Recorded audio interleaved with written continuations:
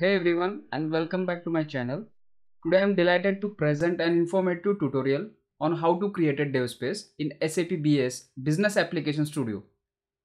The process is straightforward so let's dive right in. First click on the create dev space button which will direct you to the dev space creation page. On this page you will notice various types of dev space that can be created to suit your specific development needs.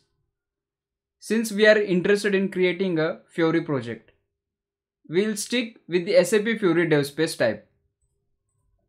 Now provide a name for your DevSpace. For example, let's call it Fiori underscore UFI underscore app. On the right side of the page, you will find a list of additional SAP extensions. You can select these extensions one by one to enhance your DevSpace functionality.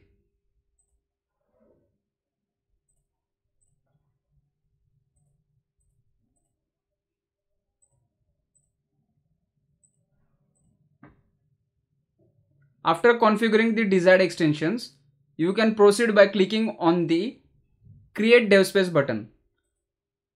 As you can see on the screen, your DevSpace is created successfully. At this point, the DevSpace service initiation process will commence. Typically, take a couple of minutes. Once the service is up and running, the status will change to running. When this status changes occurs, the DevSpace name will become an active link, granting you access to the development environment.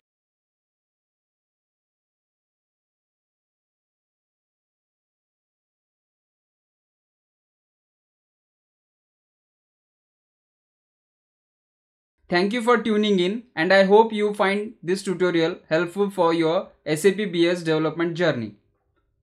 If you are enjoying this video, don't forget to like it and subscribe to my channel for more exciting content. Thank you.